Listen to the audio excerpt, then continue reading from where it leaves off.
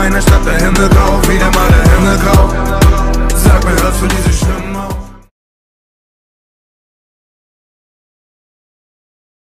Viele Menschen sagen, Leben sei zu kurz, um Deutsch zu lernen. Für mich ist aber das Erlernen der deutschen Sprache ein lebenslanger Prozess, der mir viele Türen öffnet und einen ganz besonderen Zugang zu Menschen und Kulturen ermöglicht. Ich erinnere mich, als ich zum ersten Mal mit Deutschen in Kontakt kam. Das war in meiner Grundschule und alles kam mir so schwierig und demotivierend vor. Also Fehler, Deklinationen, Wortfolge im Deutschen, Aussprache, Artikel.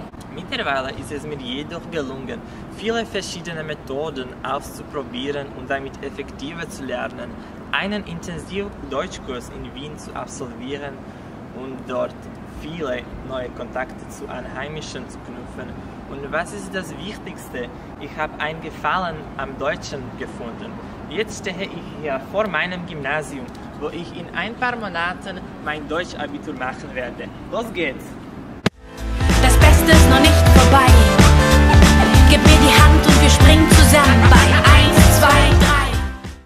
1, 2, 3. Trau mir, es lohnt sich, Deutsch zu lernen. Wenn du Deutsch als die am häufigsten gesprochene Muttersprache in der Europäischen Union und eine sehr, sehr wichtige internationale Sprache beherrschst, hast du automatisch viele Vorteile. Das Beste ist noch nicht vorbei. Das Beste ist noch nicht vorbei. Also du kannst viele weitere Informationsquellen benutzen, hast bessere Berufschancen natürlich auch in der Slowakei und eine bessere Position auf dem Arbeitsmarkt und diese direkte Kommunikationsfähigkeit mit Menschen aus anderen Ländern ohne die Brücke des Englischen.